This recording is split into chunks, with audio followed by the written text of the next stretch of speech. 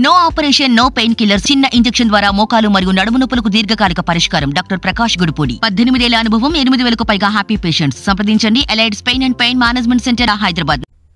Medigadda వ్యవహారంతో కాళేశ్వరంపై న్యాయ విచారణ జరపాల్సిన అవసరం ఉందని కాంగ్రెస్ ఎమ్మెల్సీ జీవన్ రెడ్డి ఆరోపించారు.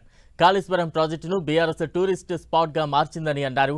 కాళేశ్వరానికి ఎమ్మెల్యేలను తీసుకువెళ్ళాలనే సీఎం నిర్ణయం శుభ పరిణామమన్న జీవన్ రెడ్డి ప్రాజెక్టు నిర్మాణంలో లోపాలున్నాయని అన్నారు. కాళేశ్వరం ప్రాజెక్టు నిర్మాణంలో అవినీతిని బయట పెడతామని జీవన్ రెడ్డి అన్నారు.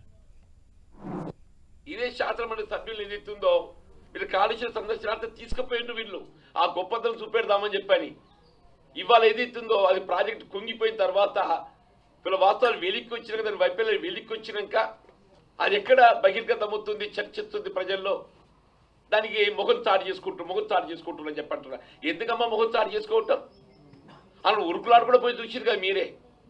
ఇవాళ ఉన్నది వాస్తవం గ్రహిస్తే తప్ప చూస్తే తప్పకుండా ఏదైతే ముఖ్యమంత్రి గారు తీసుకునే నిర్ణయం. వీళ్ళ వాస్తవాలు వెలిక్కి రావాలి. ఈ ప్రభుత్వం కేవలం కక్షపూరితంగా ప్రవర్తించడం లేదు.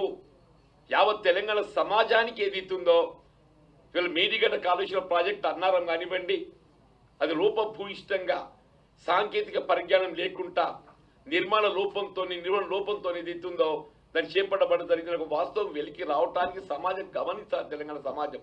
ఆ దృష్టితో ఏదైతే వారు పేర్కొన్నారు. ఎనిడే తప్పకుండా జ్యుడిషియల్ ఎంక్వైరీ మరి ఏర్పాటు చేయడం జరుగుతుంది. వాస్తవాలు వెలికి వస్తాయి దాని బాధ్యులపై చట్టపరమైన చర్యలు ఉంటాయని చెప్పని కూడా